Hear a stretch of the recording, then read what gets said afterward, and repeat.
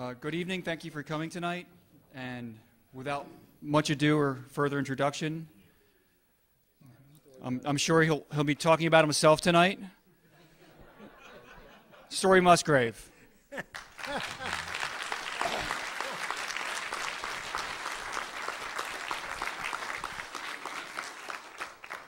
Should I tell them where we were before we came over? we were out having a few. I had to get over to stage right. and also, this engine don't run without fuel, so here we are. is it loud enough, Tom? Is that is how's the back of the room? We talking all right? okay. So, and you can dim the lights too along the way, Tom, because they got the glare going back their way. so I really, uh, I'm incredibly glad to be here. I can't say it's always luck. I was in Pasadena for Pathfinder and for Spirit and for Opportunity Landings. And so I guess it's uh, it's more than luck that I keep ending up out here when, when good things are happening. but I want to thank the Society uh, very much for the privileged opportunity of talking to y'all on an important uh, night like tonight. so, um, I have never worked Mars. Um, I love Mars. Mars is a friendly place.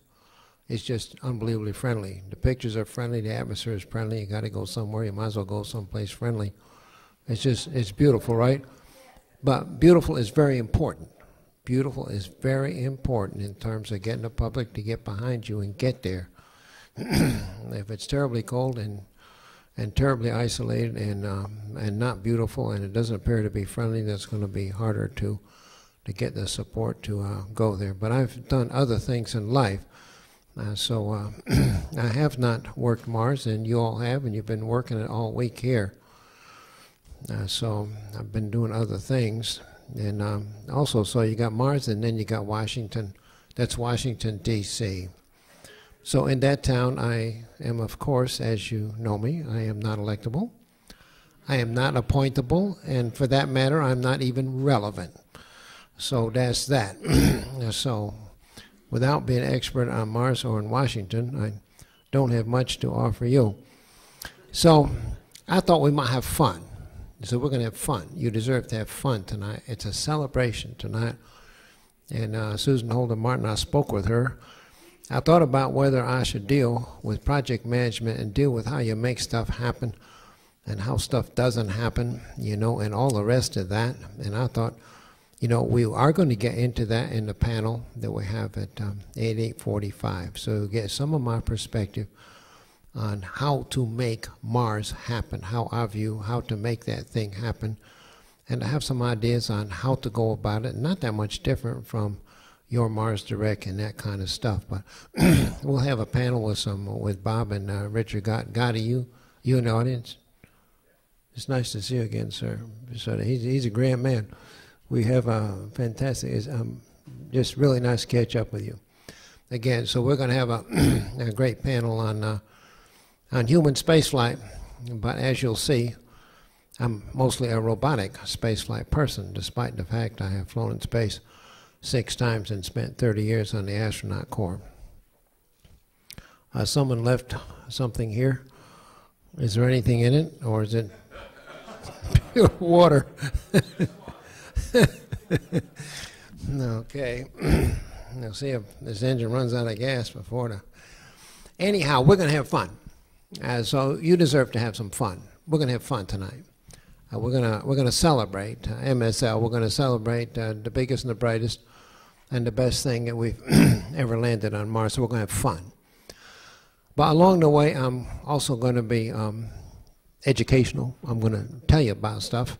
Most of it human space flight because I have a personal experience with that. So, but you are going to get my perspective on planetary exploration and, and Mars and doing things right, and project management and the mission spirit and and you know all that kind of stuff that's going to take us to get there. So you're to catch a little bit of, uh, of my perspective too. But the, the, what we want to really do tonight is, uh, is to have fun. and that's the spirit of spaceflight, the beauty and the glory and the sacred.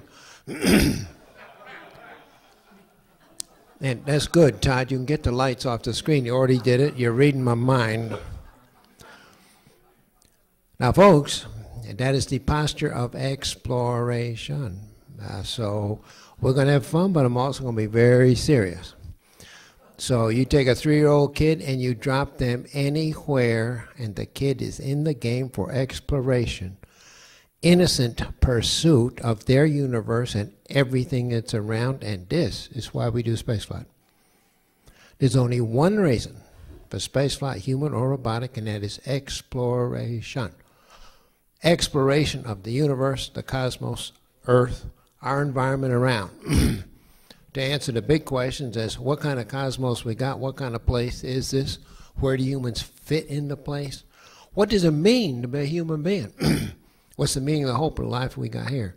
So those are the real reasons, you know, for spaceflight, and we need to remember them. But this is exploration. That is the posture of exploration. that happens to be me uh, 75 years ago. Didn't know that, did you? Uh, so that's me. and I fortunately got born on a 500 acre farm, a dairy farm in western Massachusetts, 100 head of uh, milk and Guernseys. But thing is, it gave me 500 acres. And so I, I learned how to stretch mom even at the age of three. It's how long can I be out without her getting word and come looking for me. So I'd stretch her, you know, a few minutes, a few hours until she didn't know where I was, and that's okay because you're going to come home I stretched into nighttime. I was in Pine Forest alone age three, at night, and that's far out. So people say space flight. You know, no, a three-year-old kid in the middle of the forest alone at night. That's even further out in space flight. So how could she do that? A pine forest going to look after you. A pine forest, they've dropped the low limbs, not going to scratch your face, and you got the wonderful needles, and it's warm and it's friendly. It's just gorgeous. There's nothing in a pine forest. it can hurt you. I built my own rafts, went down the rivers at the age of five. I remember once, about six or seven, Western Massachusetts cold, it's about minus 12 Fahrenheit. And I said, Mom, I'm going out. You know, Mom, she never asked. She, she didn't tell me story. It's cold out there. She didn't tell me that. She said, Where are you going? She didn't know. What are you going to do? No, no. The kid said going out, so I'm going to button him all up. so she buttoned me all up. She had mittens, not gloves. Mittens. So she put a safety pin here and a safety pin on the other side. The, mitten's going to stay on you know, and she buttoned me all up tight.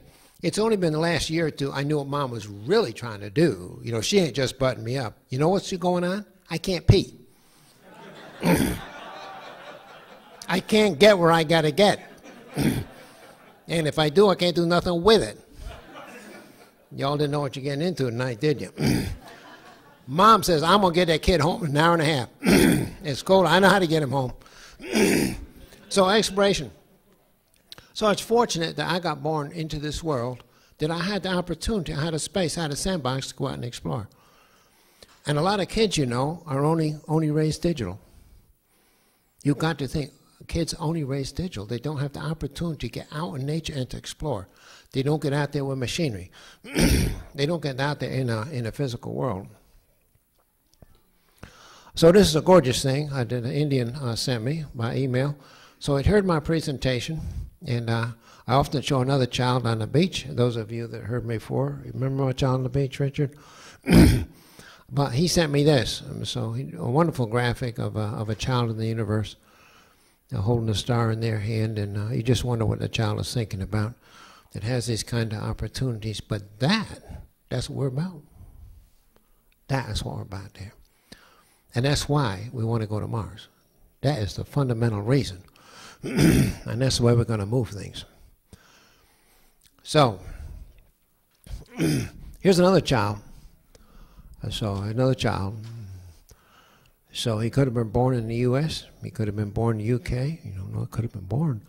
But that's what destiny does to you. But he was born in Germany, so that's Wernher von Braun that you're looking at right there. So, it's an incredible story that from as far back as he, or we can remember, he wanted spaceflight. So he's a dreamer, right? It starts with a dream. He was a dreamer. And he pursued spaceflight, and you see him as a teenager um, studying with Hermann Oberth, who was the world's expert in rocketry. the kid wanted spaceflight. He got a PhD in physics, and he become, you know, the world's expert in in uh, in rocketry. Uh, so, but World War II comes up, and so you know what they want him to do. they want him dropping V2s on London, and so that's what I had to do. And so some people criticize him for that. I don't. I knew the man incredibly well. We were spiritual brothers on the quest. And uh, he's serving his country like we all do. And, uh, and that's it. He's serving his country. He got in trouble a lot of times for a bad attitude. You know, he'd make statements like, man, my rockets are performing absolutely perfectly. The big problem is they're landing on the wrong planet. So he got, he got trouble. Uh, so while he is uh, when he is in the middle of uh, World War II, I'm on my farm in western Massachusetts, and I, of course, I'm a farm kid, so I'm doing a farm today, right? So I'm working 140 acres. I produce these wonderful green landscapes. I won't go too much on that because I need to finish by 10:31. but that's the same tractor I drove when I'm nine years old. It's not the identical tractor, but a Farmall M is what I drove. when I was nine years old. So, you know, life does come around. So I operate in the same tractor, but the kinesthetics and the motion and the vibes and everything else is just kind of fun when you're almost 80. You know, to be driving something you were driving when uh, you were nine years old. That kind of brings you back that far. And of course, I got on eBay. eBay's where you get these kind of things. Uh, so I flushed fuel out of the tank and the carburetor, put fresh fuel in, hit the start button, and started. It's run ever since. I got a fully operational tractor, only paid $2,000.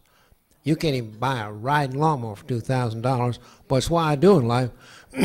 now, my farm, my farm was very, very important uh, to me. So um, I rode the balers at five, age five, because they couldn't tie the knots. The rectangular square bales coming down, you know, would just collapse out the other end because the twine in the 1930s 1930. So kids always ask me, but adults, even your adults ask me, story, you always want to be astronaut? I have to remind him in 1930s, I don't want to be astronaut. You know, if I had a big problem if I wanted to be astronaut in 1930s, because there were none. I wanted to be a farmer back then. But they positioned me on the baler where I tied the knots if the machine couldn't. Uh, so that was my first start in farming. By the age of nine, I drove every tractor, every truck in the place. By 12 or 13, left in remote fields with heavy equipment alone, I learned how to keep stuff going when it was broken. That's who I am. A magician with equipment. Now you know where the story going. I was also a lead mechanic to fix, repair Hubble Space Telescope. I designed Hubble for 18 years. I went to fix it. Why? I'm a farm kid. Don't forget the story. you think a farm kid not going anywhere. A farm kid is. but back then, bus left me off at the barn, picked me up at the barn. I had no homework, no books. I had real responsibility on the farm, and I had my wonderful nature, my exploration. So the abstractness of books could not hold on to me. So me and books part of the compound. I never finished school. I never even finished school. But uh, Korea come up. I'm sorry for the resolution. I got lousy resolution on a big screen like this because the kind of cameras we had in 9051 not so good. You know, you got your click, you got nothing. So my resolution not so good in 9051 here. but that's a base. So I ran off to Korea with the Marines and they made me a mechanic, already a mechanic. So they made me an airplane mechanic. I started off as electrician, instrument technician, then I ended up being engine mechanic. That's a Douglas AD Skyraider that we got there. And that's where I worked out there. Now, I did not have a wonderful hangar. We didn't have hangars at all. We didn't even have runways. We flew off the steel matting, but I had to work. I had to work in the mud and the snow on complicated gear and complicated engine stuff. So you see, it's really nice if you got a hangar and it's somewhat conditioned and you can lay things out. But I did not. And so, but within months, I became a crew chief. But in the Marines, I was unbelievably creative in diagnosis what needed to be done with this airplane, keep it going, what's wrong with it, you know. But I knew right off, you never touch airplane. You don't touch an airplane unless it's exactly the way they taught you or by the manual. Because it is a pedigree of process. There is a history of works you, you're not creative in touching the airplane. Otherwise, you're an engineer, which you're not. So there's only one way to touch an airplane, and that's the right way, the proven way that's proven to work. So I learned that. I learned that right off. so this is what it's about back then. That's the early 50s. And it's a prim- this looks like some other lifetime. Well, it's 60 years ago, so it was some other lifetime. Uh, so I'm 17, uh, 17 doing this kind of stuff. And I hope someday we don't have to do this, you know? I hope someday we won't have wars, that we can achieve a peaceful global community in which we're getting balance with other creatures of the world and, you know, sustainable behavior with the only lifeboat, Earth, that we're ever going to have. and so I just hope that sometime we'll be able to achieve the species will get along with itself. Now I started flying in the right seat of this AD Skyraider. There was a right seat. And you see the dive brakes hanging on the bottom. So we had guided nothing. You know, we didn't have guided bombs. We didn't have guided rockets. We had rockets, 2,000 pounders. But when you dropped them off, they ignited, and wherever they were aiming, where you dropped them off, that's where they went. The bombs, they just fell, you know, whatever trajectory. the most accurate thing we could do be absolutely vertical. If you're absolutely vertical, straight down on the targets, if you're totally, you just drop them off and they fall into the target. And so it's the most accurate possible thing you can do. so I'm flying the right seat, and I got these kids. The pilots, you know, I'm 17, they're 21 or 22, and we're immortal. You know, you know what immortality is? We are immortal. You can't kill us. We don't think. The pilots are so interested, they're flying after the bombs they're following the bombs on down to see if they hit the target. And I have to scream at them, hey guys, we're not the bomb. Hey, you know, you got to pull out. Stop. Stop doing this. And so, and so that's me. That's me back then. And as a crew chief now, so I became a crew chief within months as a mechanic. A crew chief, they handed me three airplanes. Private Musgrave, three airplanes, they're yours. I did the maintenance on them, on a big R3350, the Wright engine, 3,000 horsepower, compound engine, and the rest of it, I coordinated the rest of the men, and it is me. They signed off 300 items, and I sent them to war. I said this airplane is certified ready to go to war. It's okay for flight, and I did this at 18. You know what 18 year old is? They're different these days. 18. I signed them off. The pilots are looking at me, and I look about 16, you know, and they said, my goodness, he taking care of this airplane. yeah, so, but out after Korea, we headed by headed out for a carrier. So that's going by Mount Fuji. We're gonna have fun tonight. So I'm gonna bring you just gorgeous, uh, uh, gorgeous images. Now this is outrageous good stuff. This is just fun good stuff. So a lot of you are in airplanes, right? So we're doing airspace. You into airplanes. Airplane spacecraft. Now, so there's AD Skyraider coming into the WASP. That's my airplane. I own that airplane. So I own this airplane right there. I own it. I strap the pilot in and send them off. I send them off, and that's it. And my airplane, my engine, got to perform. And so this is the old days before the catapult. This is outrageously romantic. It's just unbelievable. See, you don't have a steam catapult and the cables. this is the Wasp. We were we were very late getting uh, the canted deck and getting the catapult. So we're straight deck, and you just fly them off, and you hope you get to end. You got enough energy to go fly. but this my life is about. And that's the way I've been raising. It's who I am. That's who I am. That's who I am. Well, that kind of stuff right there. Uh, so this one didn't get enough out of the system. And he's going to get out. But very ironic, my brother, who was on the same carrier, two years later flying the same AD Skyraider, he went in the water, but he didn't get out because the carrier ran over him. Uh, so, but that's you know that's who I am. That's what I've been doing. Uh, so. I left the Marines because out of high school diploma, you know, I can't really do anything at all. So I took up flying for serious. I owned a 172. I got all my ratings, charter pilot, flight instructor, all that kind of stuff. This is my Beechcraft T-34. It's a T-34A in, uh, in Air Force Air Force colors. And I did air shows, Blanca, AKC. We got some people do air shows, aerobatics stuff. So I taught aerobatics, but I also did, I did air shows. You know how you do an air show? You do an air show on your thigh right there. That's the page. The first sheet is what you're going to do approaching the airport. The next sheet is the first maneuver. It's a diagram of the maneuver and the airspeed and altitude you're going to hit all along the way. That's it. You don't do anything else. You just keep turning the page, and that's what you do. If you miss the airspeed or altitude, you abort automatically. That's it. It's over. the only way to do air shows. So you know the Paris Air Show? Per hour flying, the Paris Air Show got the worst record of any institution on this earth.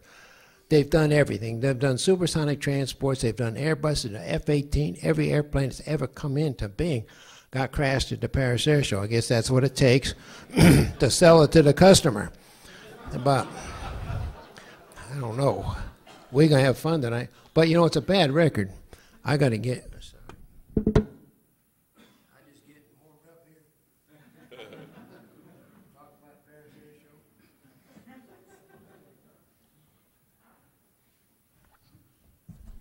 so you got to do those kind of things right. But I, I did them right.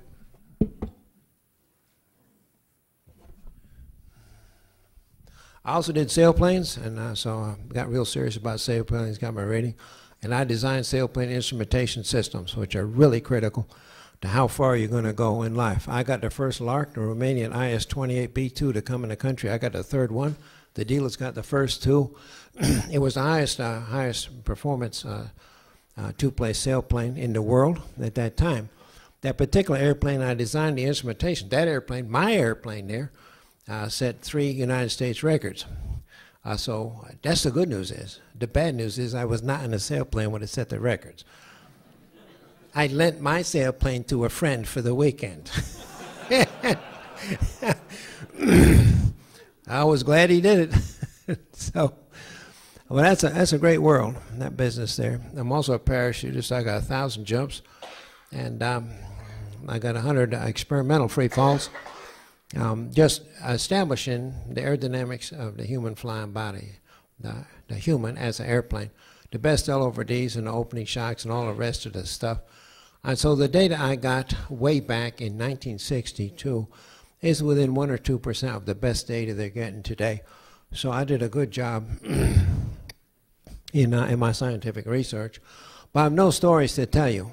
I, I don't have any stories to tell you about parachuting all a thousand jumps, I opened at the right altitude above where I wanted to every time. So you just you you do knowledge capture. You look at the way people do it. You read the books. You get the procedures. You get the checklist. You build a checklist, and then you follow it. and you update the checklist if you get a better idea, and it's proven out in the industry and the community. you just do it right. You have to do it right. In most parts of the world, um, things are okay until things go bad in the parachuting world, things are not okay until something happens. That's this, you know. So, anyway, another world I had. Uh, so that's why I went to college in. you see how the story's unfolding, right? You don't drive a car like that. You fly a car like that, and you got to tinker with it, you know. Uh, so, but I did go off to college. I begged my way into college. First degrees in mathematics complex variables, multivariate analysis, probability. I'm talking too fast, aren't I, ma'am? It's what? It's a terrible language I'm using too, right? I'll try to slow down. Uh, but we got 1031. I got to finish. so, well, I want to. I, I want to tease you a little bit, ma'am. Are you teasable? Um, I'll, I'll, I'll, I'll work on you a little bit too. Okay. uh, so, um, first degree was complex mathematics. I went to work for Eastman Kodak as a mathematician. And then I went to UCLA in, in computer programming operations research.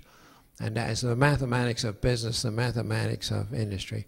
But from there, I got interested in how the brain works. And so it's a fork in the road, it's a twist. I'm on the ground floor of an incredible thing, you know, stuff. And so we had vacuum tubes in the computers. There's no one in this room no one knows what a vacuum tube is. You know what a vacuum tube is, sir? No, you don't know what a vacuum tube is. How can you possibly know? For God's sake, you're not even 30. How do you know what a vacuum tube is? You know. Okay.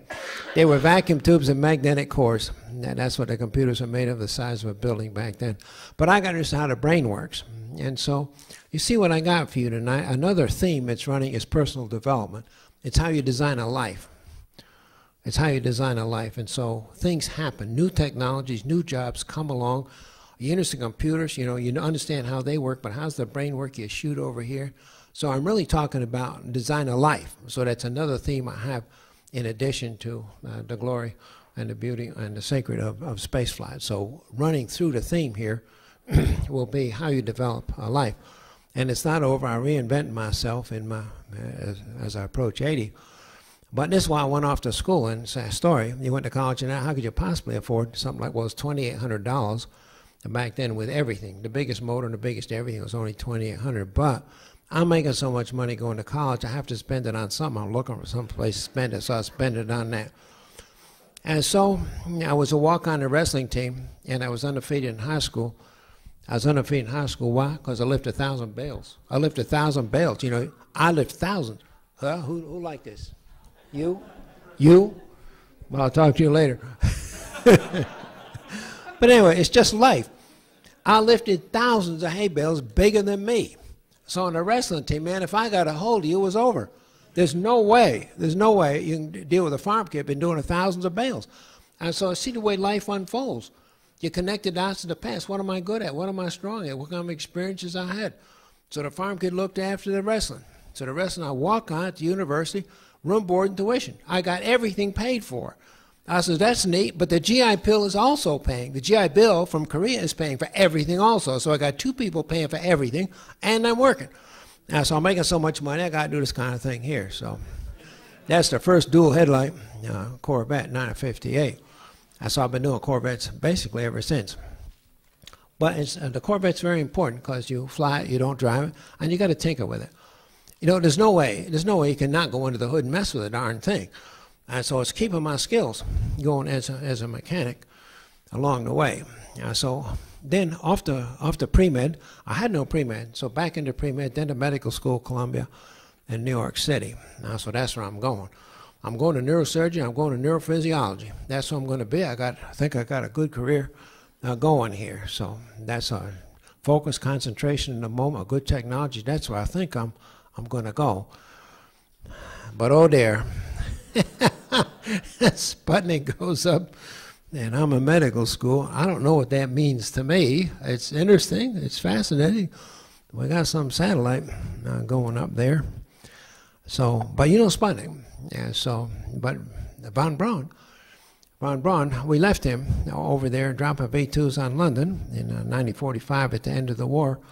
He escaped from Peenemünde with 118 of his best to go and surrender to uh, American troop. He found one soldier. It was interesting. Got 119 Germans trying to surrender to one soldier. He says, "Oh, I'll take it. Come on." so, Operation Paperclip, and he came to the uh, came to the U.S. with 118 of the best. And by the way, I keep up with four of the remaining 118. There's four left, and I visit with them. I email with. Them, I keep up with them. It's an incredible story what what those folks did. And so I just love sitting down, you know, and talking. Just four left out of uh, out of 118. It's just a just a wonderful, wonderful story. but um, so he came here in 1945, and we didn't ask him to do spaceflight. The Germans asked him to do missiles, and we asked him to do missiles. See, so this is part of history not everyone knows about. We did not ask him to orbit something. We told him to do missiles. Uh, so it went from upgraded V2s into the Jupiter C, and he was cheating. Of course, he's cheating. He cheated so bad they put ballast in the third and fourth stage of his rocket because he's going to get into space by accident, and he he didn't care. and it's pretty bad. You go to apologize to the president. You know, by the way, sir, we're orbiting something. We didn't plan on doing it, but we missed in our calculations. But the important part about history is he'd have had us there in 1950 if we turned this guy loose. So we'd have been there seven years before Sputnik. So it's an important thing, and it's important to Mars. It is what is what is your vision? What is important about spaceflight? Is it exploration? Is it romance? It is history. It is who we are as human beings. We didn't understand that back then. So we didn't let him, hey, tell a guy to orbit us, hey, we're going to go. We got to go into space. You know, that's what he wanted to do, but we didn't turn him loose. And so that's an important part of history that not everybody understands. So we could have been there seven years uh, earlier. But then in response uh, to Sputnik, um, NACA, uh, we formed uh, NASA out of NACA, you know, starting in uh, about 1959. Of course, uh, Sputnik went up in 57, the fall of 57. so we formed the NASA. And then we started, uh, you know, we had uh, disasters along the way. But when von Braun was told, for God's sake, man, put us in space, it took him two months. Two months. He was ready, two months. So the Vanguard and the rest didn't work. Told him to do it, he did it. And then we had a, you know, we started out with Mercury Redstone, as you well know, Shepard's first. So we had one suborbital flight. And then this guy, the guy was a nut, you know? One suborbital flight, and he says, go, you're going to the moon, and you're going to do it in eight and a half years. Wow, man. But see, the date was urgency. The date was important, and he nailed the date. He gave us a slightly impossible date, but we pulled it off. So, in project management, the date you say when you gotta be there and you gotta get done with this job, the date is important. It can't be impossible and it can't be too long. You need an urgency and a mission spirit. That mission spirit that says, golly, can we get there? You know, it's a going to war kind of spirit, and it coalesces. Everyone says, yeah, man, we're going to go do that thing. So the impossibility of the date just coalesces. We had the best project management the world has ever seen, and he stayed with us. He stayed with us all the way. He said to go, and he stayed with us. He visited the NASA sites. He visited NASA. It looked upon it as a personal, I own this project. He stayed with us. And he also, which has just really been communicated recently by Logsdon's book, is he was interested in joining with the Russians. in other words, going off to the moon together, which would have been super. Which would have been great for a lot of ways. It would have defused the international competition and we'd be in space for exploration, not just for international competition. So it's difficult when you come out of the 60s having won the ball game hands down, are we still going to have a space program? It's difficult to come up with a vision. Now, so this man was, uh, he was just super. Go do the thing, and he stayed with us. He stayed with us through the Apollo fire. He says, we're doing it because it's hard. And, uh, and he also had that vision of if we cooperate with the competition, but Khrushchev uh, did not want to did not want to do that. So it had an extraordinarily uh, successful Mercury program. I adore that picture there. And then, of course, uh, Gemini Titan, uh, the two person crew. and this is the first rendezvous. This is Gemini 6 and 7, you remember? We're testing out rendezvous capability. So eventually, uh, the command and service mods will be able to uh, rendezvous with uh, lunar. I know you know all this history already, but it's nice to visit things. so. That's a fork in the road.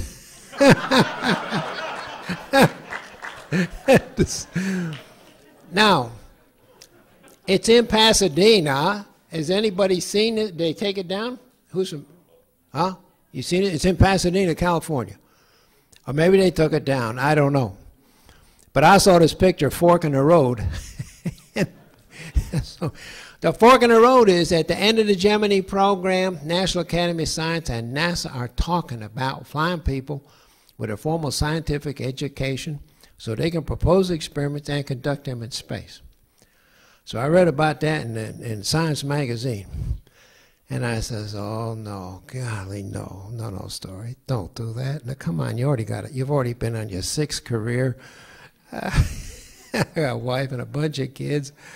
Oh no, here I go. I'm a space person. I'm going to the space. So I left all my clinical training back in postdoc fellowship, graduate school physiology of space and that kind of stuff. It's a fork in the road, right?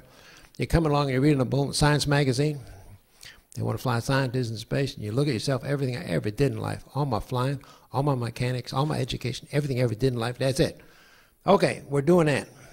Leave. Uh, leave that great path and back into the postdoc fellowship graduate school, so it's a fork in the road.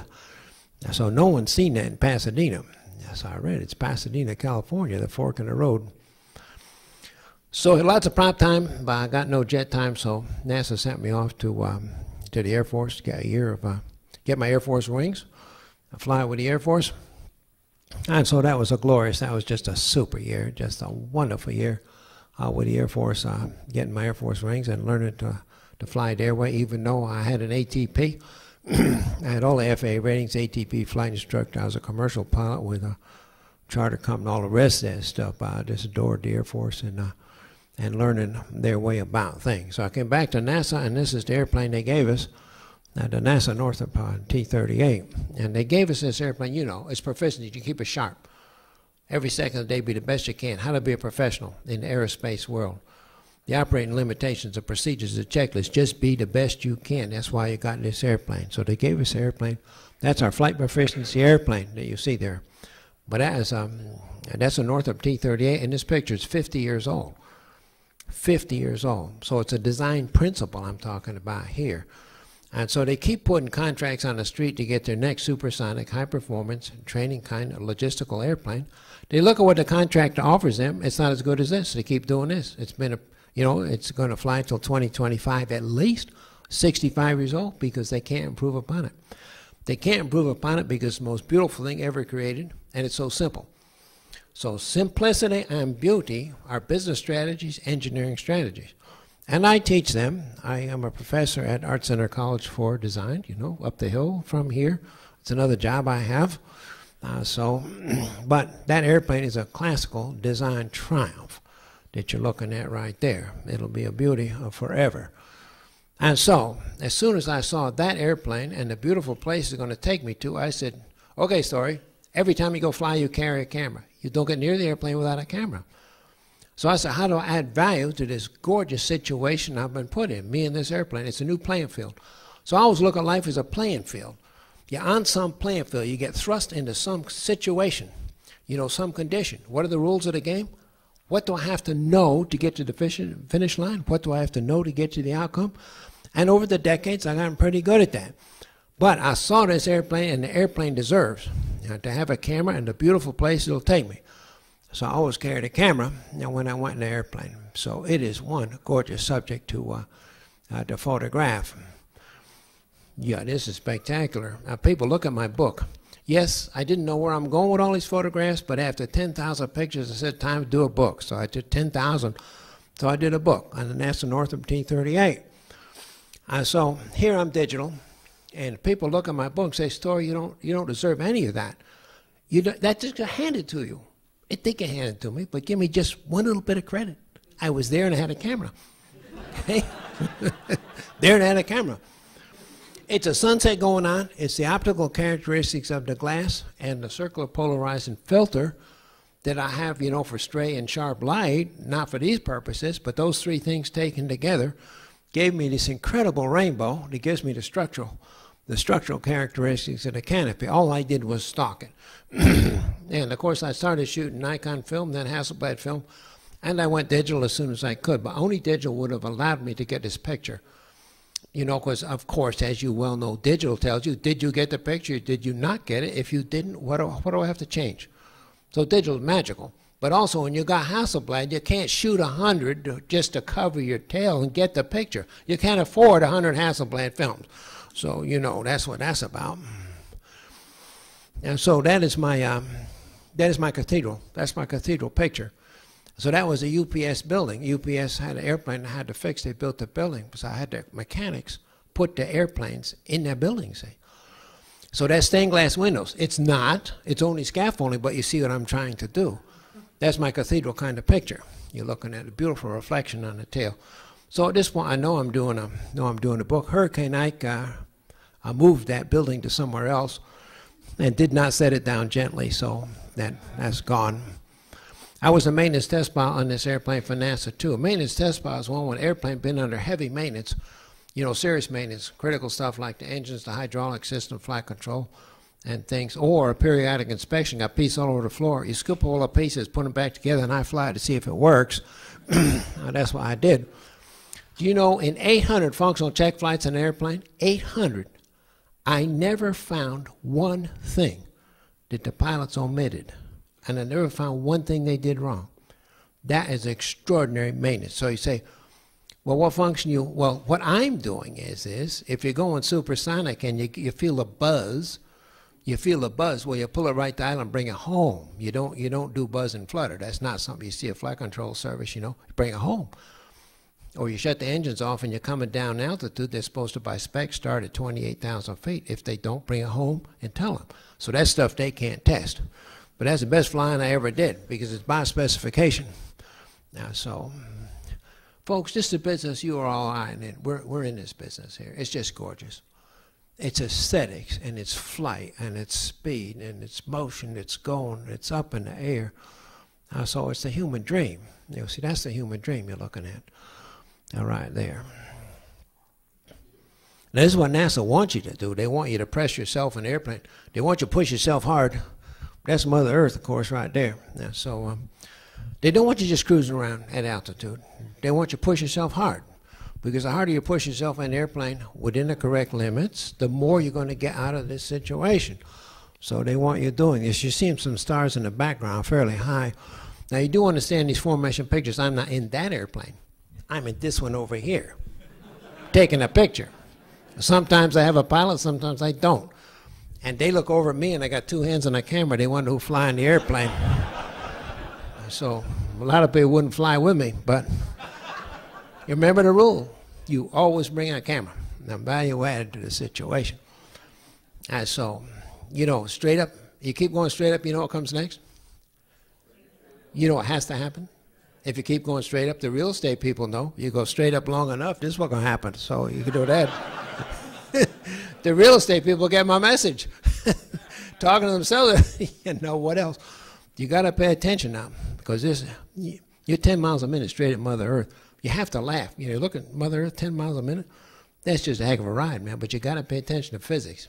You have to pay attention to physics. You think a mile and a half above Earth, it's okay. It's not okay. You have to pay attention. It's vigilance and awareness and doing things right. so here's a pullout. That's about a 7G pullout over the Gulf of Mexico. Now, sorry for the blur, but I got seven Gs. I don't have autofocus back then. I have to manual focus. And turning in this direction, I cannot get my eye on the eyepiece. So how am I doing it? I'm judging how far away I am from that airplane and putting that on the focus ring. So it's tough. Plus, I got a mask, got a helmet. I can barely hold a camera. So anyway, some of it comes out, but you got to pay attention. And so that's ASA 64. Uh, so I not, should not have been able to get that. No one in this room knows what ASA is, do you? You know, oh, you. I got people that know way back. Yeah, ASA. Now, so Okay, so we're having a huge amount of fun here. Uh, so now people, you know, people look at my book and they say, "Story, you didn't deserve this one either. You just you're cheating." So you're cheating. Well, I am cheating. I had the mechanics build this wonderful flight line. That's a shuttle train airplane I'll talk to later. But see at the top, that's a shuttle up there. That's a launch pad, and it's going to be a night launch. So what I'm planning is here, the shuttle go up at night and light up my babies, right? because I know I'm doing a book now. Yes, this is cheating. Yeah, it's cheating. There you go. Whatever. well, it's okay to cheat, right? so, we, are we having fun tonight? We're having fun with airspace. And so here's a here's a daytime, same thing, except it's, it's launch pad A at the Cape here. A lot of my pictures I got from riding the lift around. Well, so that is really neat. But you're going to watch what happens now. Can you believe the plume did this? Now, you all know about some plumes. You've probably seen them. Vandenberg creates some unbelievable plumes. Somehow, and I don't know the physics, the plume wraps around itself into a three dimensional structure.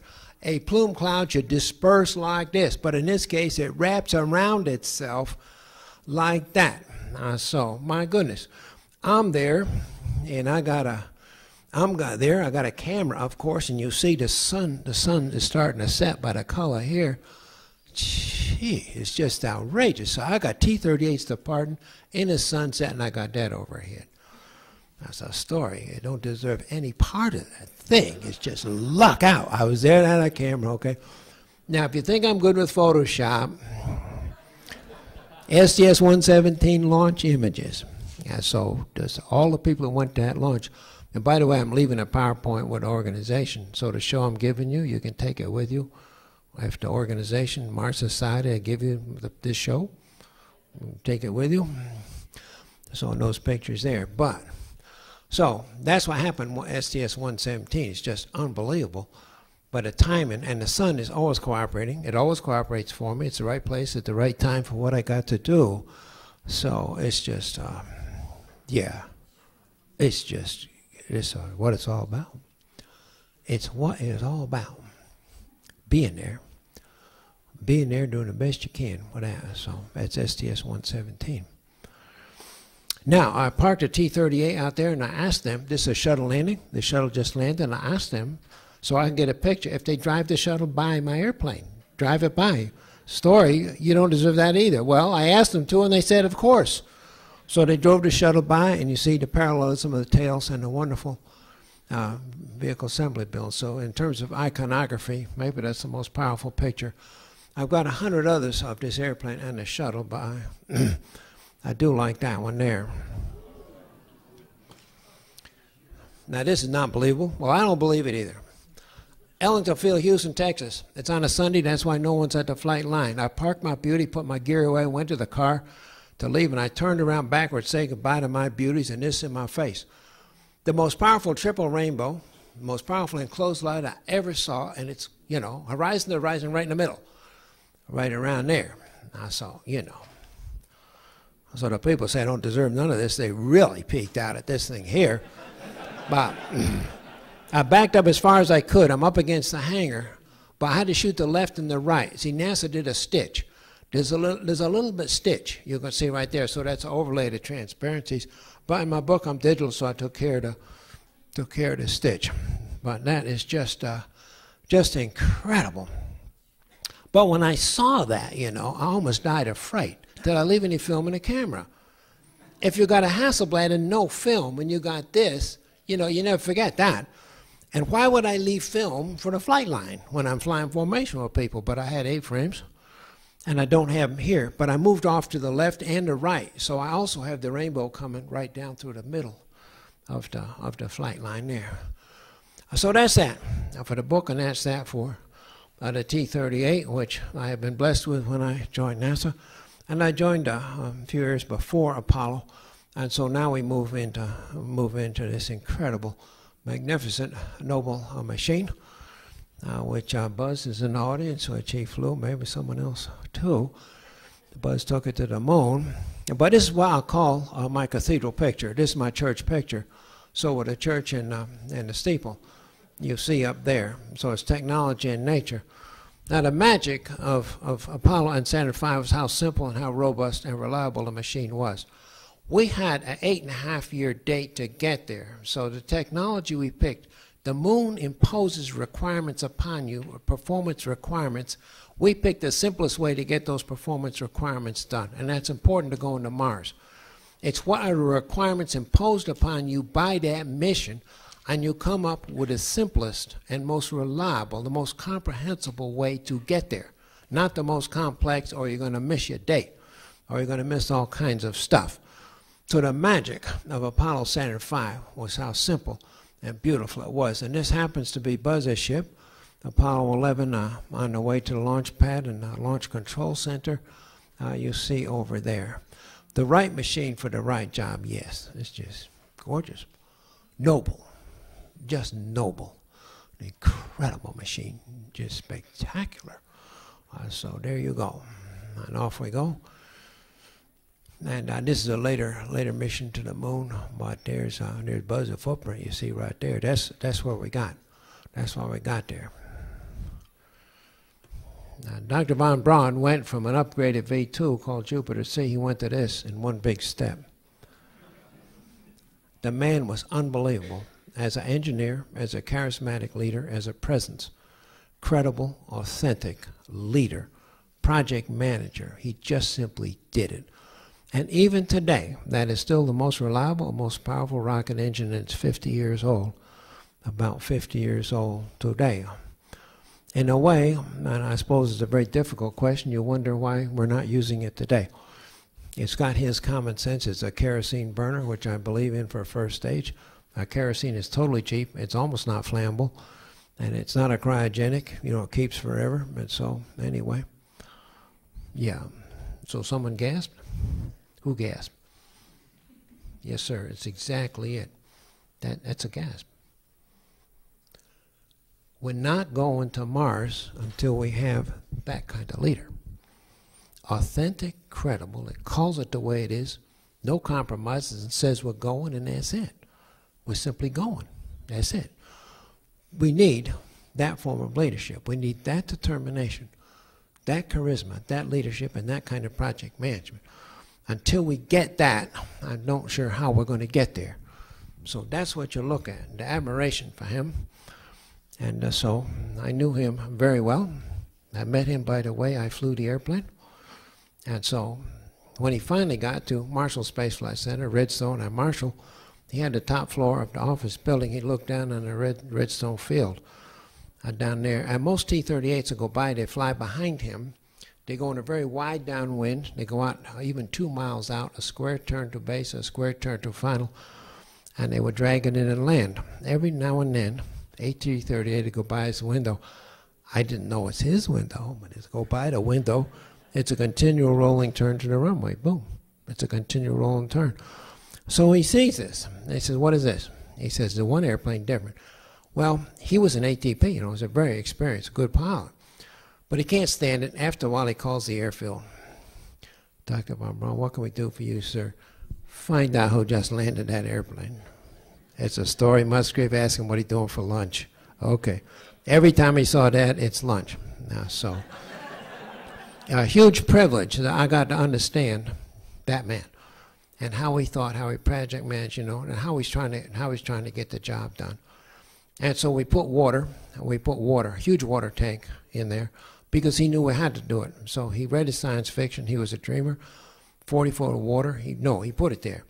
Now he didn't call it a facility because it takes congressional approval if you're going to have a facility. He just wanted to build it. So don't call it a facility, just build it. You know, you know what it's like. Forgiveness later. Uh, so that's what he did. He was the first person in a suit in the tank. He did zero G. He did the T-38. He was immersed in what he did. A true believer. Uh, so anyway, a huge love and, and respect for uh, uh for that man. Uh, so after Apollo, we went into the Skylab program, and so the Congress would not let us embark on any other program until we landed on the moon. Reasonable, but we built Skylab, our first space station, out of Apollo materials. And so that's an Apollo third stage you see there. So we had a third stage. We lived in an oxygen, uh, hydrogen tank. Oxygen tank was for waste. Now had a multiple dock adapter. Anyway, that was Skylab, immensely successful program, not very well known. 200 scientific experiments. That was our first experience with a uh, with a, a space station. And you say, well, it's not very symmetrical. It should be a solar panel. You remember the story? That got ripped off in the launch. Uh, so they didn't they didn't vent. So they missed on venting a tube, and the solar panel got got uh, ripped off and as did uh, the thermal protection cover. That's why we had to put manually put that sail out. So we were in a crash program to save this thing, to save it from the heat and to manage manage the power. I was a backup crew member on uh, on the very first Skylab. Immensely successful, our first uh, our first space station program. Uh, so then we moved on. You like that one? yeah. Well, sir, I hope you like them all. I work very hard on getting it, and it's important. Evocative, compelling images are incredibly important. If you got a vision about why you're going to Mars, you need to build very compelling, evocative, multimedia images of what it's going to be about, the whole thing. This is what's going to happen when we get to Mars. And so that leads the public on, and you get pressure from downwards coming up to go and do this thing. So you need to, you know, create the whole darn thing. Uh, so compelling, and so right down the top. Now we came out of the 60s in a difficult situation because we came out of there saying we're, we're doing space to compete uh, with the with the Russians, but we're really not. It's exploration. That's why we're doing it. But we win it. We win it and we win it hands down. And so, are we still going to have a space program? The NASA let the administration and the Congress force them into a defensive position. Are you still going to have a space program? So they started giving up the vision. The vision for space should be created by the NASA and space people, not by the administration and not by Congress. They should not be creating the vision because.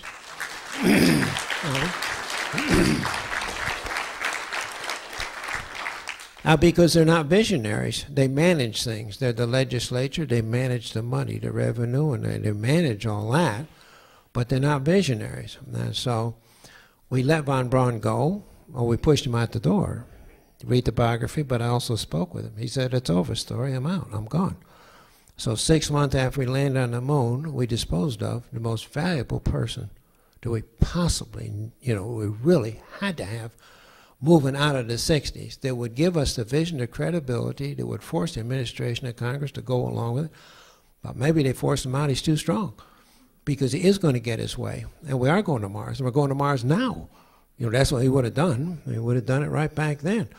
But I don't know why they pushed him out the door. But we lost the real kind of visionary dreamer, engineer, project manager that we desperately needed more then than ever uh, when we came out of the 60s. So we started losing, the agency started losing being the visionary and handing that over to the place where the money came from. And so we got in the defensive posture and we let the congressional staff start to run, run NASA. And so it was tough from that point on.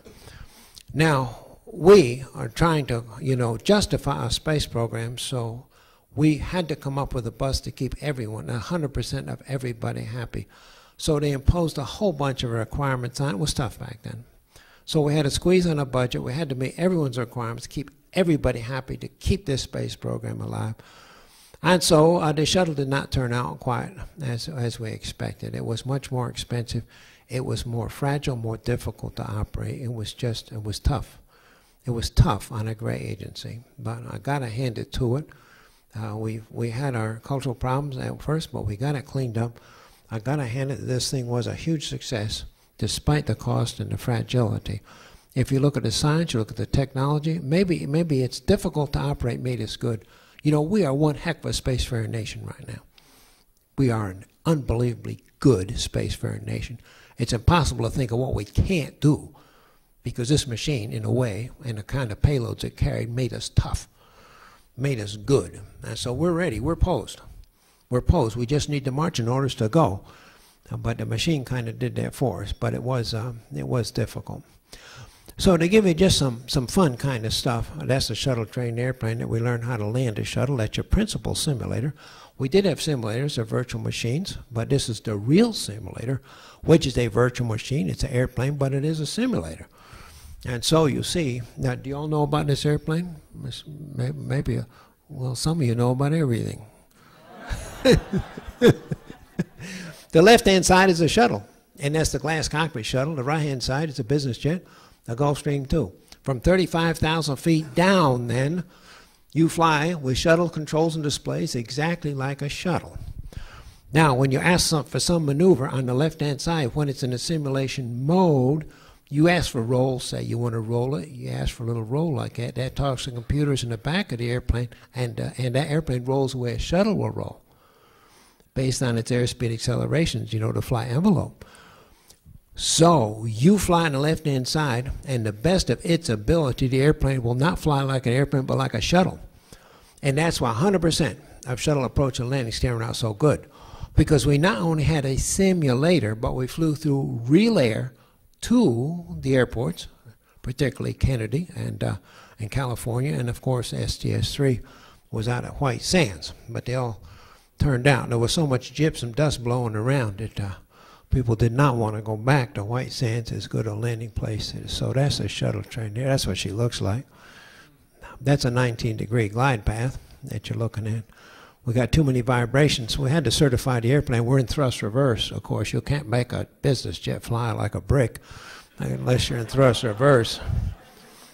So I'm not allowed to use that language, but it's okay now. like a brick. It is a brick. That's an L over D down around five. But that's uh, that's White Sands, New Mexico. You see. Um, now this is a DC-9, the poor airplanes. These airplanes, we put them through funny things. So this is the zero-G airplanes. You know about the parabolic flights we flew. Used to do this KC-135. That's a way back for decades. We flew the KC-135. So you enter into a dive like that, and it's a two and a half G pull up. And once you're aiming up like that, very sensitive accelerometer, you just push over and you're able to get 30 seconds of zero G in the back of that airplane.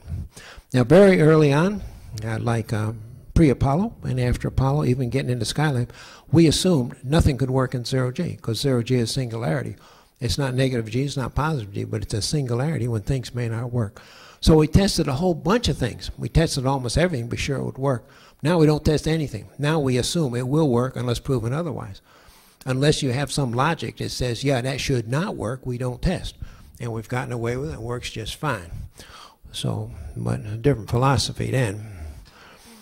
Uh, so that's a you know, characteristic story. That's a class of 78. So onto the telescope. I just spent a short time on this, on the details and the fun. So back in 1975, I was assigned to the, the Hubble Space Telescope. Boss called me in the store, yes, sir. Yeah, we're going to put a big telescope in, in, in space after Lyman Spitzer's, Princeton's idea. Finally, we're going to get to do that. And the said, Story, you identify every possible failure that machine could get into and fix it with a spacewalk.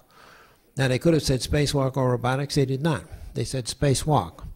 Since they didn't ask robotics, I can't spend extra money and all the time to do that. But that issue came up later when we didn't think we'd ever get back there after the Columbia accident.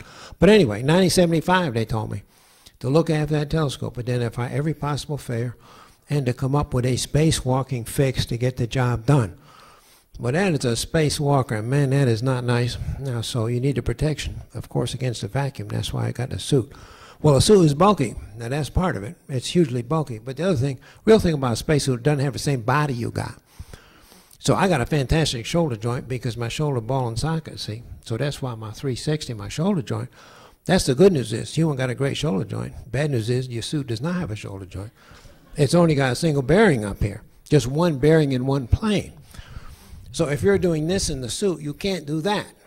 If you're doing this, you have to rotate and then do this. So a lot of parts of the suit not got the same body you got. The suit got its body, you got your body, put the two together, you got to work in a different fashion. Uh, so you have that issue. The other thing is the suit has uh, it has mass. Now we call it the free fall condition. We call it zero g, but as I know you all know, it's not zero g. The gravity out there about the same as it is uh, down here. Now, but it uh, because you're in a free fall condition, is that velocity you have. You're still falling towards Earth, but you're going so fast you are carried beyond the earth as you fall. So that's really what it is out there. But, so you don't have weight, but you have mass. If you're trying to be a nimble little squirrel, you know, move where you got to go, you got to get 500 pounds going. 500 pounds, 480 for me. Me, and my suit, my 280 pound backpack, I'm moving 480 pounds. It takes a while to get it going. Now, if in your propelling yourself, you have not planned on the end and you have no way to get stopped, you keep going. and that is bad form. It is bad form to keep going. You find yourself alone out there. but it's not something you worry about because they'll come get you. It's bad form. But I have not lost a tool out there, but I've seen people lose tools. You're working away now. The tool protocol is there's a toolbox. You open the door, and the tool is tethered to the box. You take your tether off, hook it onto the tool, and then take the other one off. That's tether protocol, where the tool is always tethered to something. But I've seen tools get away. Oh. and you yell tool chase. the words are tool chase. That tells those wonderful pilots inside, ah, we got to go get the tool. And so, if you want to really tease them, you know, if you want to see how good they are, you sit like this. You, you don't help them. You sit like this and they'll put the tool in your hand. Hey, how you doing? that. They'll put it in your hand. Now, if you see the tool going down there, you can save some fuel. You go over there and get it. But if you want to tease them, you put the hand. They'll put the tool in your hand. So that is one unbelievable flying machine. Now, as you know, they're not flying the tool. The tool is going on its way at that velocity. They fly you up to the tool. That's what they're doing. So in terms of if you get loose, which is even worse form, you don't yell body chase. Tell the whole world. You just yell tool chase more urgently. Come get you. So, now space station they can't maneuver, and so you need a little jetpack, and a little jetpack below your life support system in, uh, in, uh, in the case of space station, which cannot maneuver to come get you. And so, and that's Lucen's. But the other thing about is everything is in constant motion and free fall. So, a spacewalking is bulk. It's a lack of dexterity. It's a lot of thickness, structural thickness, insulation thickness. It's not got the same body you got. It's got a lot of mass, maybe 480 pounds, and you're in a free fall condition, which things dance all the time. So that is the difference between me working on a farm, me working on airplanes down here, and working out there in space. So I have to design. I come up with hundreds and hundreds of items that could fail, and then I come up with the zero G space fix. So I look at how I'd work down here, but I have to use my imagination, my zero G experience to do those tools and those procedures, 300 tools. So I did that. I did that for over uh, over 15 years. This artist concept, a big camera, the Wide Field Planetary Camera, that came out of JPL here. And we got people that participated in that. So Wide Field Planetary Camera too. But I used artist ideas how to do it. When I got real hardware, this is out in California, around Palo Alto, Sunnyvale there. I played with real hardware. So I would take real components out and put them back in. And I have script writers, you know, recording what I'm doing, photographers, and we kept converging on a final solution. After 15 years, I think I got it all down. I think I can uh, take care of absolutely everything that it could go wrong. Here's the real telescope uh, down at KSC, uh, getting ready to get launched. It is one spectacular, uh, beautiful uh, machine. And so here it is uh, in a canister on the way to the launch pad, but I really show you the picture for this beautiful little guy right here. He's saying, what are you guys doing now? you always doing something. This is my world. What are you doing now? And so that's STS-31 mission it carried up. I did not carry it up there, but I was in communicating mission control. So I have 25 missions in mission control as the communicator. And so I got my own six flights, uh, too.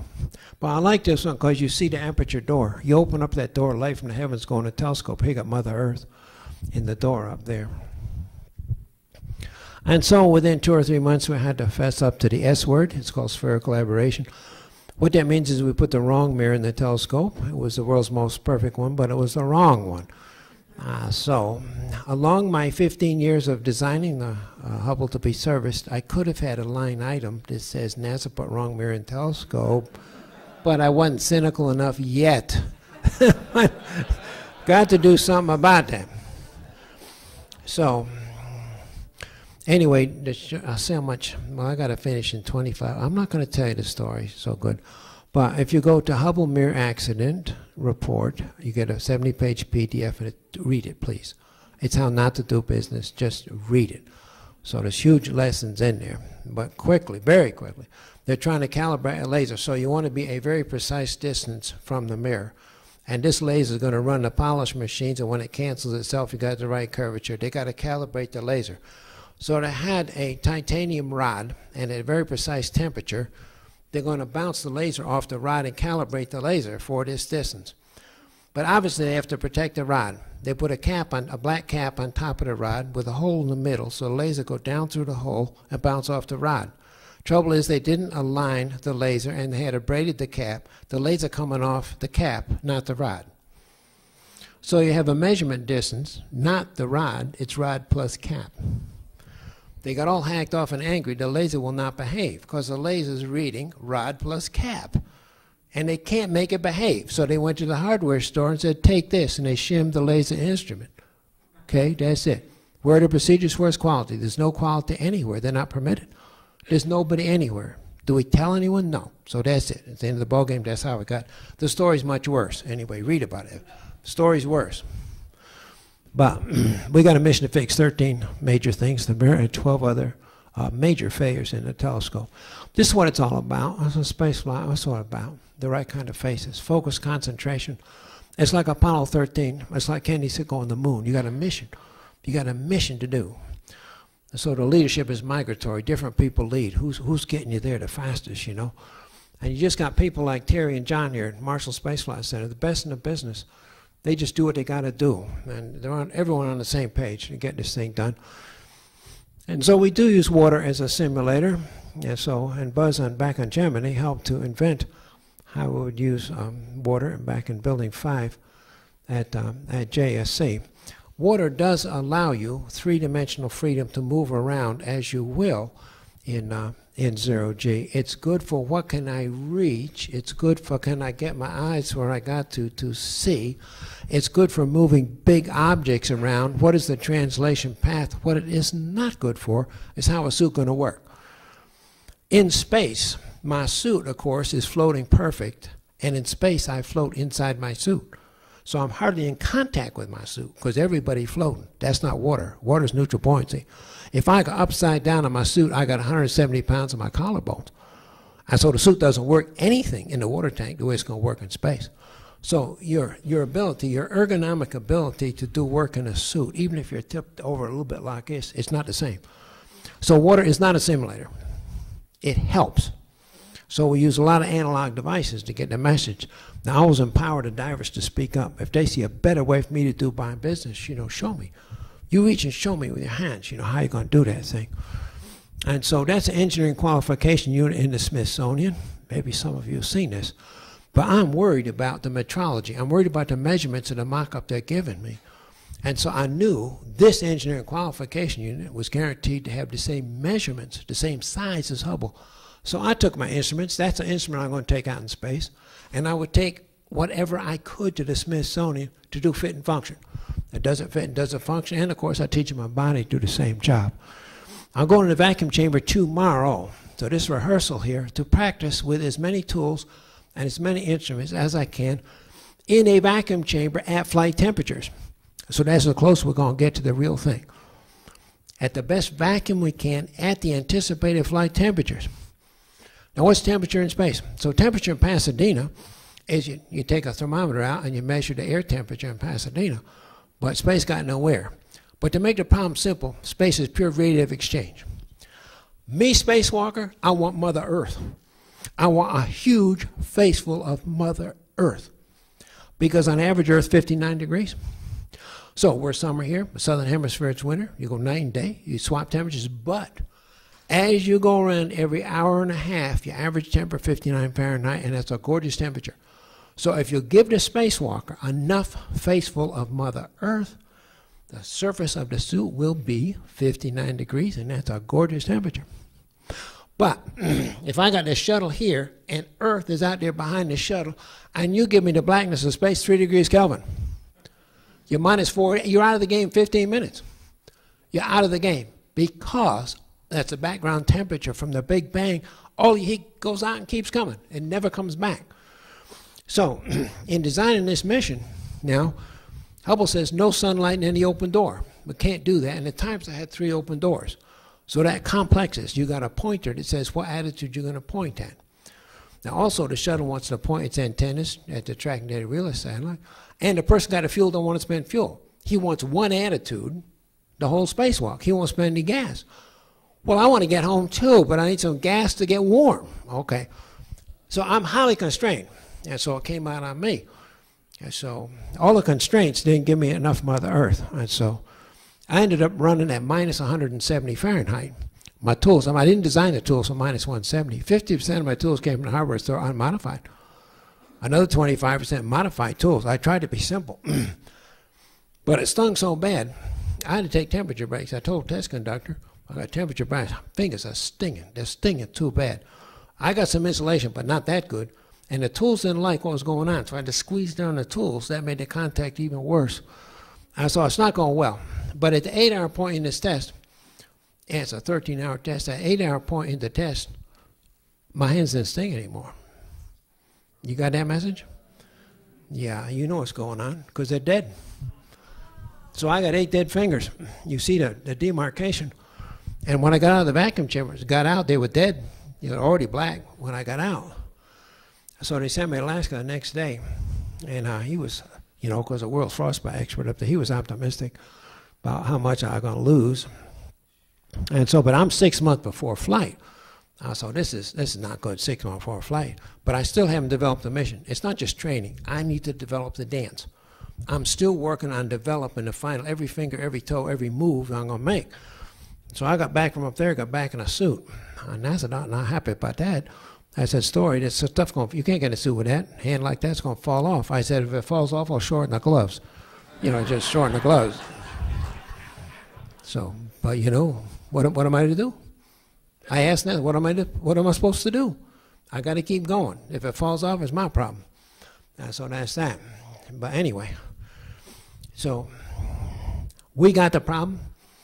We put heat in the gloves, but you got to give NASA credit for this. They dedicate them resources to test. We found the problem ahead of time. We heated the gloves and we found some more fuel so we could do maneuvering. When I went to fly this mission toasty warm the whole time, I never had to think about temperature. When I flew STS 61, just like that, toasty warm the whole time. But a little bit of humor. You know the CLEAR program where you give your biometrics at the airport? You become a registered travel, you give your biometrics, your eyeballs and your fingerprints. So I gave them all that. I got a certified letter back from those people. They said, Mr. Musgrave, where you have fingerprints, they're indicative of someone trying to hide their identity. and you need to come in and talk to us. We got to find out who you really are. so anyway, here we are, arriving down at, at Kennedy here. That's the Hubble crew you're looking at. Flying in formation. Uh, so, yeah, the bird's eye view is spectacular. That's what we're about. That's what we space people are about. I keep looking at the clock. I'm going to finish at 8.30. I'm going to sit down whether or not I'm done. Launch pads A and B. This is what it's about, folks. Yeah, you get permission to fly by this beautiful vehicle, T-38, and by the launch pad. Now, some of you have probably noticed we have two shuttles. So I mix and match my images to give you the best I got.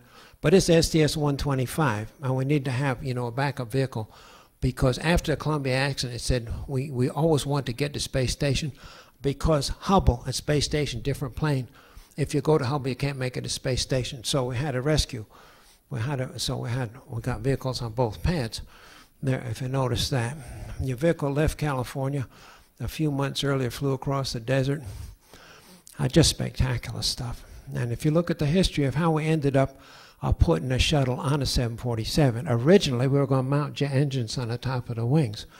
Was one of the alternative, the concepts early, and we'd actually fly it through the air like an airplane, but that would have been massively complex handling qualities and all. But a fellow got that idea, and he was a fellow who was expert in remote controlled airplanes. So he built a Model 747 shuttle, and NASA says that's way we do it. Uh, so this is beautiful. Just stack that thing up. And this is just gorgeous. This is Discovery's last flight. So you see, I'm, this is not Hubble. I'm just giving you the best images I got. And they really put the lights on it and did, a, did an incredible thing. Uh, so this is uh, going out to the pad with a sunrise over the Atlantic and a sunset uh, with the pad. And I love the reflections after, right after the rain. The reflections of that when I always visit my ship, but not before I go into space. Then I go out and swim in the water to stay in contact with Earth. Now you wake up launch day. This is not what you want to see out the window. This is this is not the kind of day you want. You certainly don't want this kind of stuff. So these are real pictures. It didn't happen to me. I had good days for the most part. So we're going to drive down the road in the van. You know that, but you're trying to stay in contact. So you know you've been there. You see the great big eagle's nest, and over the years, over the decades, the eagle's nest, you check on them, see it's okay. And you turn right at the vehicle assembly building, you head out to the launch pad and check some other friends you got out there. yeah, this is Kennedy Space Center. It's just unbelievable. Uh, check your buddy. So when you work down there and you're heading for the parking lot, you look around in, uh, in the evening because uh, if they had a bad day, they expect you to improve upon their day, you know. So, uh, so now there is um, there's Troy. So Troy and me, he's my suit tech. He's he takes my gloves, my helmet, my suit, my life support. He takes my oxygen bottles, my parachute, the whole thing. I went on a journey with him for 30 years. He put me on Apollo when I trained for Skylab. He put me in the water tank, the vacuum chambers. He put me on six shuttles. That's it, folks. That is two folks who went on a journey together that you're looking at right there. That is professionals. Every time we came together, we tried to do a little better. Now, I like this one here because there's no technology, because the human reach for the heavens, you see, is framed in nature. Reminds you of 2001. This is a pure push. Now, people mail me these, so this is a timed exposure digital camera. But I don't know, someone just mailed me this. How you like this story? Well, I like it. I just love it. So, yeah. so, you don't deserve this one either story. Yes, somebody emailed me this one too. How you like this one story? So, just beautiful, man. People looking after me. If you can't be good, be lucky. We're in space. I go chase that Hubble down. I know you've seen this at sunset. Yeah. Uh, so chase it down and uh, run the rendezvous on personal computer. That's what we did. So you tee into the data stream of the shuttle, do the solution in the personal computer, and then put it back into the system. So you're not scarring the shuttle. Can't change the shuttle. It's been up there tens, a hundred times, and uh, you don't want to. You want it to keep doing what it does. So personal computers were upgraded. Now here comes Hubble. You see there, got in the back, go to work. And so after 18 years now, I'm going out the door and go and uh, repair that thing. And the kind of stuff I got to put up with is this kind of stuff here, you know. Now, NASA put the wrong mirror in the telescope, 13 other failures. You know, how do I feel going out the door? Do I feel any heat? I do not. I'm going to go out and do the dance. I'm happy with what I've built, the plan I've built. I'm going to go do it. But I bring inspiration out there. I bring the dream out there. And so this kid, she had no no hope. She's from Siberia. She's from Siberia, no hope. And she and her dad said, We're going to play tennis. She won Wimbledon at 17. So that's it, folks. She got the dream. And Allison Barker, so I teach at Space Camp. 700 kids are all on the same page. They show up. Why do they show up to get the job done? They know it's, they know ahead of time. I'm going to be assigned a role. I'm going to learn the rules of the game, and I'm going to get good, and I'm going to get the job done. That's what it's all about, inspiration. I used to how this horse Claiborne Farms, Paris, Kentucky. Get the horse all over me. And before I leave, I said, "It's for you that I live, man. It's for you that I go forward. There's no reason to sign up for any less than that. You know, for you that I live." And this is a dream I didn't get to do. I always wanted to be a ski jumper. I love I love velocity. I love soaring. I love aerodynamics. I love altitude. I didn't get to do that. So, but I went to Norway in April, and I sat on the bench just looking down the hill, wishing I could throw something out to go, you know. But I'm watching the skiers go. One of them said, "Story, it ain't over till it's over. Why don't you take it up now?" Well, that's what it's about. See, that's what it's about. So, but I shouldn't feel too bad. I did get to do this. So, 400 miles in the air over southern Australia. But here's, I say, just going to work on it. Saying, here's the real team, the Mission Control. I love and respect. I adore them and I mumble about how it goes. Where am I now and where am I trying to go? You see, I want them with me. I want to help. I want to help. So and so. Maybe my empathy is because I did 25 missions, uh, 25 missions from there. But man, they're going to look after you. They are the best in the business. They got no egos, and they're always trying to tease out the best expertise. It's a great organizational model. Now, so CoStar is the way we fixed for the wrong mirror in the telescope. There's an American engineer taking a shower in, uh, in Munich, Germany. And for the most part in the U.S., you can change the stream or point the stream, but a lot of places in Europe, you can move on articulating arms. You move the, whole shower head somewhere else. That's why I'm going to fix Hubble. So it came up with CoStar, and that's five pairs of little quarter-sized mirrors that come out. One of them catches the aberrated light, corrects it, sends it to its paired mirror down to the instrument. One box in there. We fix the aberrated light for uh, for five other instruments. The solar panels were terrible things. They shook so bad. They go in the sunlight and expand. They shook the whole telescope, and they went to the cold side and contracted. They shook the telescope. We were losing 20 or 30 minutes of fine pointing every rev because the solar panels were shaking so bad. Well, what's with the solar panels shaking? They're shaking because they weren't tested in the sun. Solar panel? Sun? They weren't tested in the sun. You can't do that. So this one's broke. You see it fractured itself. We had to leave it out there. Just drop and leave it fly away. Uh, so, but very, very few surprises. Just tells you how good the team was. I When to close the big doors, the left door is about three inches higher than the right door. The doors are like this, so the latches wouldn't match up. They had difficult time on the ground too, but they didn't warn us. You know, the doors didn't close. Uh, so, but I had to come along. I had two come alongs. You know, come alongs back on the farm, big straps. You tie your, your payload down. Well, I put two come alongs on the shuttle to close shuttle doors. But I checked with a flight director, and uh, Milt Heflin looked after us. We got it done. So, you know, this is back in 1993, you know, and over the last uh, 19 years, what Hubble's done. So I lost my baby, and with talking to Clinton, it's a sense of melancholy, sadness. I didn't come for victory. I came to be in the playing field working, doing the best I could, you know. But I lost my baby. After 18 years, she's gone. I'm not getting back. So it's sadness. A quick celebration of zero G and Eartha will come right home. So I was on Coke and Pepsi Wars. That's my second flight, all astronomy. Cosmic ray telescope, infrared telescope, all that. But Coke, I, I was signed to Coke, so I Coke. And so, you know, you know what glass Coke will do in zero G? You think bubbles are going up? Huh? The bubbles going up? No, there's no density gradient at all. I saved one can for me. To get at the Coke, I took a can opener, I took the whole top of this Coke can off. To look stupid in the video, I'm trying to pour the Coke out of the can. But it won't come out. So I got a problem. But I went, yeah. I snapped the can off the Coke, and that's 12 ounces of Coke. Now, Jay.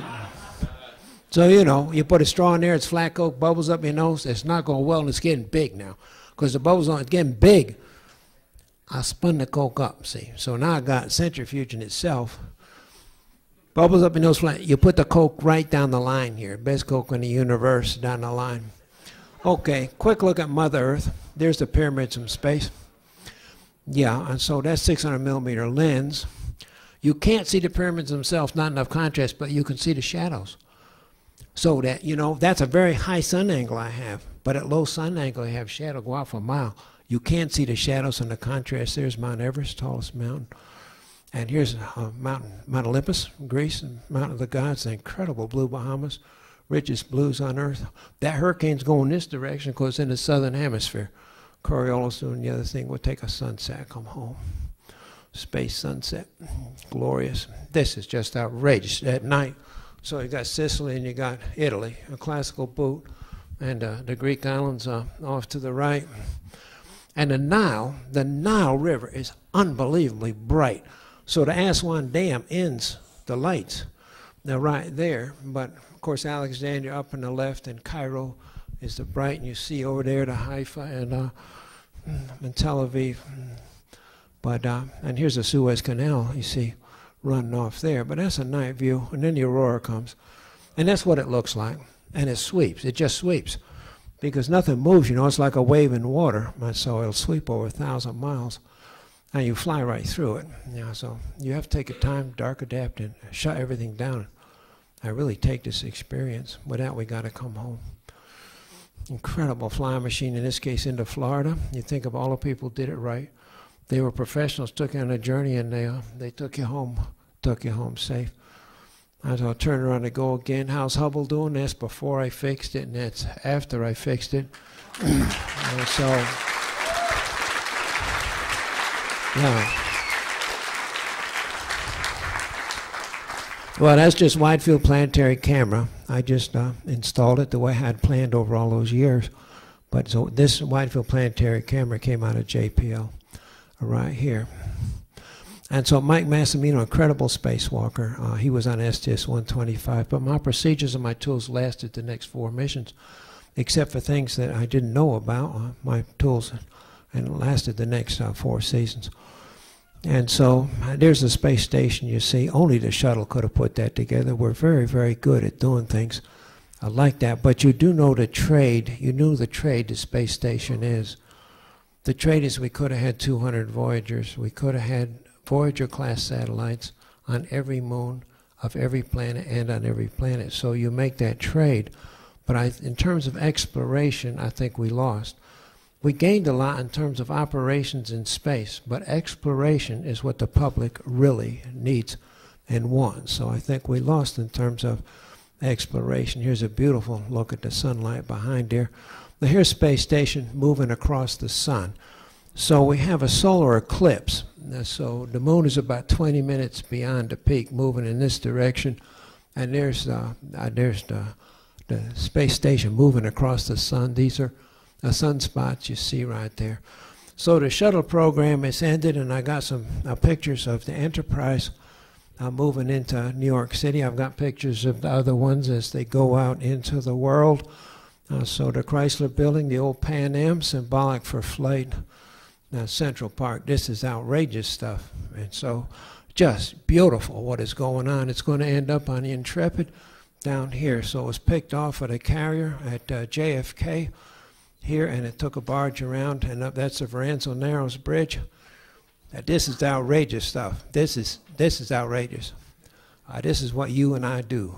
This is what we do, uh, right here. So up the Hudson with uh, people of interest, and to have this juxtaposition of of regional life and a, and a spaceship going by is just outrageous. But remember my message. Remember my message in terms of vision. Vision to the public has got to be communicated like this so powerful and compelling that they can't resist it, and pressure from bottom up is going to let us get there. And so here's the crane picking it up off the barge and setting it down on the Intrepid. Ironically, it's the same train that picked up Miracle of Hudson, that picked up U.S. Airways uh, out of out of the Hudson. Uh, so that is that. And now we get to the space station with uh, incredible Soyuz. They know what they're doing. It's over. It's 46 years old. Still does what it does. Here's Tracy, Tracy Caldwell Dyson. So I'm just going to follow one person through the journey with uh, with with Soyuz. And there's Tracy in the cupola, a great uh, kind of view out there. And here she comes home in the field. And of course, uh, they're going to ignite the solid rocket booster. Cushion, cushions are landing. It looks primitive, but doggone it, it works. And a picture I absolutely adore. She's in the helicopter on the way on the way home, and despite all the attention she's getting, she's saying, "Man, after six months up there, I just gotta take a break." I just uh, I love that. I think it's uh, really compelling. And so the future, uh, so um, the Spaceship One, uh, Virgin Galactic tourist, and uh, uh, so there's the Dream Chaser, Sierra Nevada. So we're going to develop, and uh, you know well about uh, the Dragon. They already brought cargo up there, and CST 100 by the Boeing company, and Orion, the NASA one. We are paying for and developing five different ways, including the Russians, to get to low Earth orbit. Uh, so you know, you'll have to wonder: is that the right thing to do to pay for five different systems? And we are paying for it now. Uh, so it's a little bit about human spaceflight. So I'm going to end up here. This incredible Earth, floating ocean of space, the only home we'll ever have get along with the rest of the species. And that's a single photograph, as you know. The, the Voyager took the two sisters, Moon and Earth, and a Hubble picture of where we're going. And a Cassini, and you can see Mother Earth. You see Earth right above, a foot above my finger. They're trying to take a picture of Saturn, but they got Mother Earth, and that's what it's about. It's a beautiful sun. Star birth in Orion, Monocerotis, probably end up in supernova. And we got Supernova 1994. You see the supernovas there, the artists, the kind of art they produce out there is just outrageous beauty. You got the Veil Nebula. Uh, so we got 4414, and we got, no, that was Silverado 4414, and the Sombrero. As you well know, the deep field, we took Hubble, aimed it where there was nothing. We thought dark sky, we took a long exposure. It's another 1,000, 2,000 galaxies, maybe 300 trillion stars in one picture. That's the kind of home, beautiful place we got. So that's you and I. That's the Milky Way galaxy. That is our home that you're looking at right there. And one of the huge triumphs, the Voyagers, as you know, have left the solar system 34 years. One of them took a picture of Mother Earth from 5 billion miles. So that's us. We're on a cosmic journey. The accretion disk, the dust flame that formed our solar system, the sun, the planets, and you and I. What can you say, Story? Walter Cronkite, what do you say, Story? Three things. I am privileged to have gone. You know, to many people, I'm privileged to be on that playing field, to have the opportunities and the kind of challenges that I have. Secondly, I was allowed to finish. I could have been stopped. I could have run into an insurmountable surprise that would have stopped me cold. I was allowed to get the job done. And thirdly, and most important is, it is not over. Spaceflight is the quest for the universe. It's what is our place in it, the meaning of the hope that we got here.